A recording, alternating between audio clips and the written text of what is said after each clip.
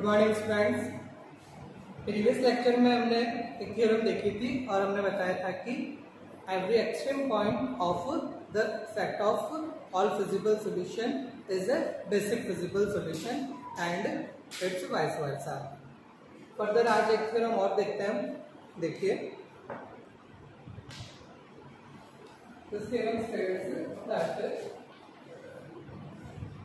If the convex set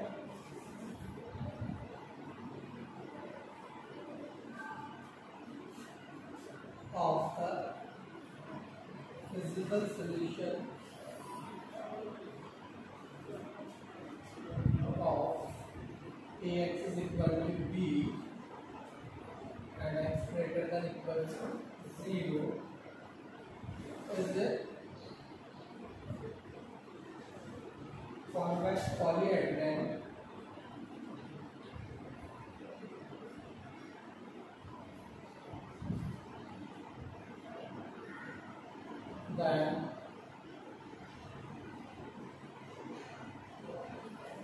at least one of the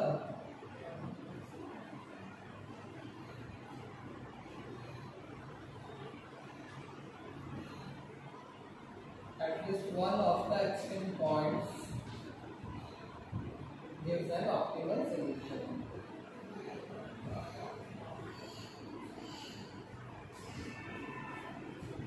ये हम कहते हैं कि if the convex set of the feasible solution of ax is equal to b and x greater than equal to 0 is a convex polyhedron then at least one of the extreme points gives an optimal solution कि अगर हमारे पास ये निकाय है ax बराबर b और x greater than equal to 0 इस निकाय के जो फिजिबल सॉल्यूशंस का कॉन्वेक्स सेट है अगर वो एक कॉन्वेक्स पॉलीहेड्रन हो तो at least one of the extreme point तो कम से कम उसका एक एक्सट्रीम पॉइंट ऐसा ज़रूर होगा जो हमें ऑप्टिमल सॉल्यूशन देगा। तो इस एलपीपी का ऑप्टिमल सॉल्यूशन जो है, वो हमें मिलेगा इसके फ़िज़िकल सॉल्यूशंस का कॉन्वेक्स सेट अगर पॉलीहेड्रेन कॉन्वेक्स पॉलीहेड्रेन है तो जो इसके एक्सट्रीम पॉइंट्स हैं, उनके एक्सट्रीम पॉइंट में से हमें एक एक एक्सट्रीम पॉइंट जो होगा, वो हमें ऑप्टिमल सोल्यूशन देगा।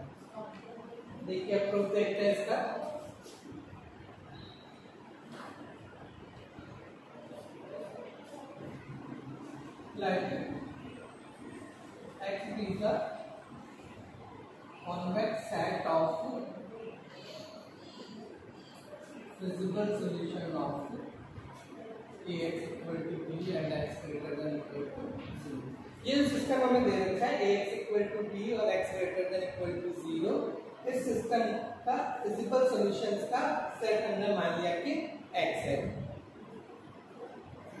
अब ये हमें पता है कि जो एक्सट्रीम पॉइंट्स होंगे इसके, वो फाइनाइट होंगे। तो अब हम मान लेते हैं कि like x1 x2 24 on up to x k तक हम मान लेते हैं। आर द एक्सट्रीम पॉइंट्स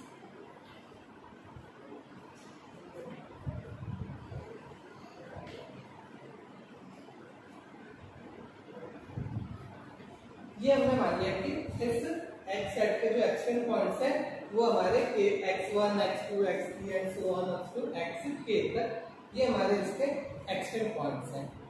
तो के हमने इसके एक्सट्रीम पॉइंट्स मान लिए। अब हमें प्रूव ये करना था कि at least one of the extreme point gives an optimal solution कि ये जो एक्सट्रीम पॉइंट्स है इनमें से एक एक्सट्रीम पॉइंट होगा जो कि हमें ऑप्टिमल सॉल्यूशन देगा। X0 gives an optimal solution.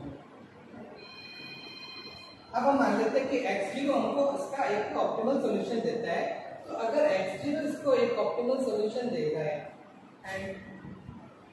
if x0 is an extreme point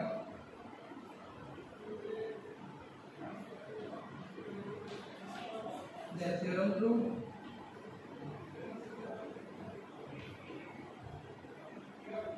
अब हमने ये मान लिया था कि x ज़ीरो जो है वो हमारा एक ऑप्टिमल सॉल्यूशन देने वाला पॉइंट है।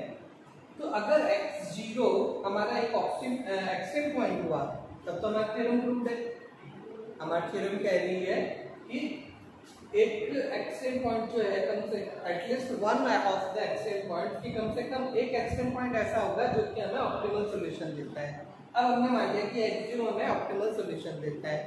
अब अगर एक्स ज़ीरो हमारा एक्सटेंड पॉइंट है तब तो ठीक है, हमारी थ्योरम प्रूव होगी अब हम लेते हैं कि if X zero is not an extend point if x0 is not an extent point, अब अगर x0 हमारा एक्सटेंड पॉइंट नहीं हुआ चरम बिंदु नहीं हुआ तो क्या होगा? तो in that case x0 then x0 can be expressed as the x0 can be expressed as x0 is equal to summation i equal to 1 to say p lambda i xi, lambda i x i where every lambda i is greater than equal to zero for every right and summation lambda i is one. अब x0 चूँकि हमारा एक extreme point नहीं है, चरम बिंदु नहीं है, इसलिए x0 को हम एक कॉन्वेक्स कॉम्बिनेशन के रूप में व्यक्त कर सकते हैं। तो x0 मैंने ले लिया summation i equal to 1 to p lambda i xi for every lambda i greater than 0 lambda i जो है वो सारे हमारे ज़ीरो से बड़े होंगे और समेशन लैम्डा i जो होगा वो हमारा वन होगा। अब देखिए ये x0 हमने इस तरह से ले लिया। अब मैं fx0 अगर लूँ तो देखिए fx0 मेरा हो गया F of I i equal to 1 to p lambda i. xi या मैं इसको कह देता हूँ। एक तरह से ये हमारा हो गया lambda one F X one plus lambda two F X two and so lambda T F of X यह कहते हैं summation 1 to t lambda i f of x तो ये हमारा एफ़ एक्स ज़ीरो जो है वो कुछ इस तरह का बन गया। अब देखिए, हम मान लेते हैं कि for I is equal to K F X is maximum हम मान लेते हैं कि आई इक्वल टू के के लिए एफ़ एक्स जो है, वो हमारा मैक्सिमम है, अधिकतम है। कि एफ़ एक्स की अधिकतम वैल्यू हमको मिलेगी एक्स के पर। तो एक्स के जो हो गया, वो हमारा एफ़ एक्स की मैक्सिमम वैल्यू दे रहा है। या कह लें कि f x k is maximum तो इन दैट केस देखिए then now replace all x i by f x replace all x i by x k तो देखिए, यहाँ पे क्या होगा? ये एफ़ एक्स ज़ीरो जो है, अब देखिए यहाँ पे ये जितने भी एक्स आई जो है, हमारे x one x two x की जो भी है, इन सबको मैं एक्स के से रिप्लेस कर देता हूँ। यहाँ सब जगह मैं एक्स के लगा देता हूँ।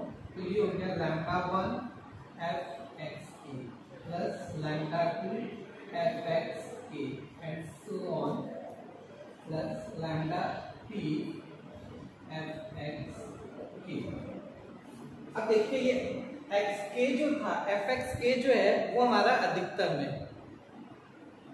एक्स के जो है, वो हमको एफ़ एक्स की अधिकतम वैल्यू दे रहा है। तो ये जो एफ़ एफ़ ऑफ़ एक्स के है, वो इन सब में अधिकतम है। तो ये f x k f of x one इससे भी बड़ा है, इससे भी बड़ा है, इन सारी टर्म से बड़ा है। तो इनका जो सम होगा, वो एफ़ एक्स ज़ीरो से बड़ा होगा। या मैं इसको अब लिख लूँ एफ़ ऑफ़ एक्स के तो हमारा कॉमन आ जाएगा, अंदर यहाँ रह जाएगा लैम्डा समेशन लैम्डा है और समेशन लैम्डा हम बता चुके हैं कि वन है। तो फाइनल इस तरह से ये मेरे पास आ गया।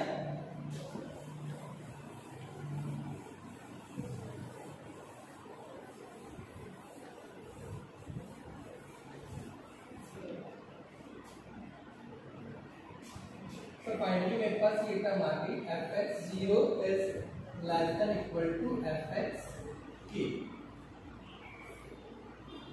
f x zero जो है, वो मेरा हो गया less than F x k और एफ़ एक्स के जो है, वो हमारा मैक्सिमम ऑफ़ एफ़ एक्स है।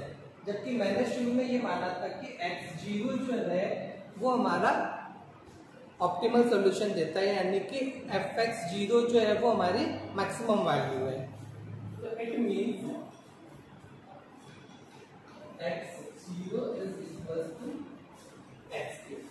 क्योंकि मैं शुरू से ये मान के चल रहा हूँ कि एफ़ एक्स ज़ीरो जो है, वहाँ पे मुझे अधिकतम वैल्यू मिल रही है एफ़ एक्स की और यहाँ पे हमने ये लिया था कि एक्स के पर अधिकतम वैल्यू मिल रही है।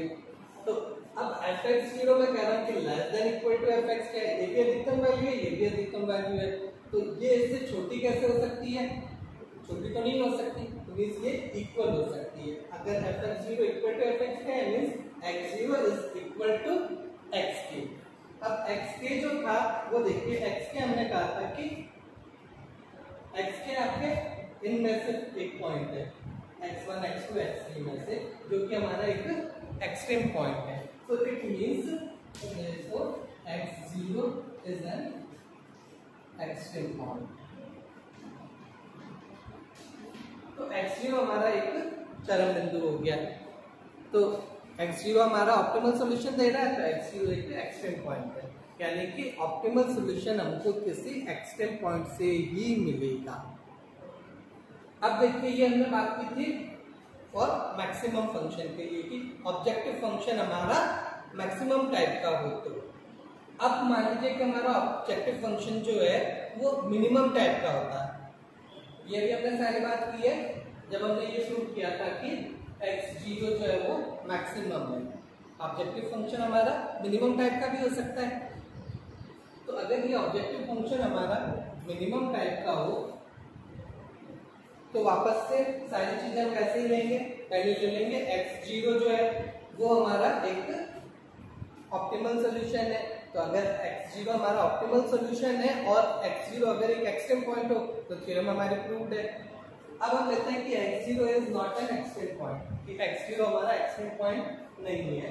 देन एक्स ज़ीरो को हम इस तरह से एक्सप्रेस कर सकते हैं, लिख सकते हैं। ऑब्वियसली एफ़ एक्स ज़ीरो वापस हमारा यही बनेगा। ये सारी चीज़ें वही होगी। अब यहाँ से हम चेंज कर लेंगे मान लेंगे कि for i equal to k f x is अब यहाँ पर मैक्सिमम की जगह इसको मिनिमम कह देते हैं। हमने मान लिया कि आई इक्वल टू के के लिए एफ़ एक्स हमारी मिनिमम वैल्यू देते हैं। अब मैं वही वापस सारे एक्स आई को एक्स के से रिप्लेस कर लेता हूँ। अब इस केस में क्या हो जाएगा? क्योंकि x के मुझे मिनिमम वैल्यू दे रहा है ना तो ये एफ़ एक्स की अब यहाँ पे ग्रेटर देन इक्वल टू हो जाएगा। ये चीज़ यहाँ पे तो ये आ जाएगा कि f x zero is greater than equal to f x k. और पहले हम ये कह चुके हैं कि एफ़ एक्स ज़ीरो हमारी मिनिमम वैल्यू दे रहा है। यहाँ हम कह रहे हैं कि f x k minimum value दे रहा है। तो ये एफ़ एक्स के इससे बड़ा कैसे हो सकता है? बड़ा नहीं हो पाएगा। ये दोनों इक्वल है। तो x zero is equal to x k so hence x zero is an extreme point तो अगर फ़ंक्शन हमारा ऑब्जेक्टिव फ़ंक्शन चाहे मैक्सिमम टाइप का हो, चाहे मिनिमम टाइप का हो, एक एक्सट्रीम पॉइंट ही हमें ऑप्टिमल सोल्यूशन देगा। तो चलिए, ये हमारी प्रूव हो गई। अब देखिए हमने प्रीवियस क्लास में, प्रीवियस लेक्चर में हमने डिस्कस किया था, जब मैंने कहा था कि एक्सट्रीम पॉइंट्स जो है, वो हमें बेसिक फिजिबल सॉल्यूशंस में से मिलता है। कि एक system A x equal to b type का है हमारा तो उसके जो फिजिबल सॉल्यूशंस का सेट है, उनके जो एक्सट्रीम पॉइंट्स है, वो बेसिक फिजिबल सॉल्यूशन होंगे, या जो उसका बेसिक फिजिबल सॉल्यूशन है, वो एक एक्सट्रीम पॉइंट होगा। और आज हमने कहा था कि एक एक्सट्रीम पॉइंट है तो वो हमें ऑप्टिमल सोल्यूशन देगा। तो एक तरह से इन दोनों थ्योरम्स को जोड़े तो अपन ये कह सकते हैं कि जो बेसिक फिजिबल सॉल्यूशन है हमारे पास, वो ही एक बेसिक फिजिबल सॉल्यूशन हमारे एक्सट्रीम पॉइंट से और एक्सट्रीम पॉइंट से हमको ऑप्टिमल सॉल्यूशन मिलता है। So at least one of the basic feasible solution gives an optimal solution तो हमारे जो बेसिक फिजिबल सॉल्यूशन है, उन्हीं में से हमको ऑप्टिमल सॉल्यूशन मिलेंगे। तो एक एलपीपी को सॉल्व करने के लिए ये दो थ्योरम हमको एक बेसिक आइडिया दे रहे हैं कि जो हमारे पास कंस्टेंट्स हैं, जो इक्वेशंस हमारे पास बन रही है A x equal to b type की, ये एक चीज़ ध्यान में रखिएगा इक्वेशंस है इनइक्वलिटीज नहीं है। हमने जो भी थ्योरम्स डिस्कस किए वो है A x equal to b type की इक्वेशंस के लिए नॉट फॉर द इनइक्वलिटीज तो अगर हमारे कंस्टेंट से हमको एक इक्वेशन मिलती है A x equal to b type की और x greater than equal to zero type की तो ये जो A x equal to b type का जो सिस्टम है हमारा, इस सिस्टम के जो बेसिक फिजिबल सोल्यूशन हमारे पास आ रहे हैं, उन बेसिक फिजिबल सॉल्यूशंस में से ही कोई एक सोल्यूशन हमें ऑप्टिमल सॉल्यूशन देगा। तो अब एक कैलपीपी को सॉल्व करने का कुछ एक बेसिक आइडिया हमारे पास ये आ रहा है कि हम A x equal to b type की इक्वेशंस लें, पहली बात तो। इक्वेशंस होनी चाहिए। अगर वो इनिक्वलिटीज है, तब हम कुछ नहीं कर पाएँगे। हमारे पास किसी न किसी रूप में इक्वेशंस होनी चाहिए। उन इक्वेशंस को अगर हम सॉल्व करें तो उनके जो बेसिक सॉल्यूशंस होंगे, उन बेसिक सॉल्यूशंस में से ही हमें ऑप्टिमल सॉल्यूशन मिलेगा। तो ये एक बेस हमारे पास बन गया। इस बेस को लेते हुए ही सिंप्लेक्स मेथड हमारा बना है, जिससे हम आगे फर्दर एल सॉल्व करेंगे। नेक्स्ट क्लास में नेक्स्ट लेक्चर में हम डिस्कस करेंगे सिंप्लेक्स मेथड और उसकी थ्योरी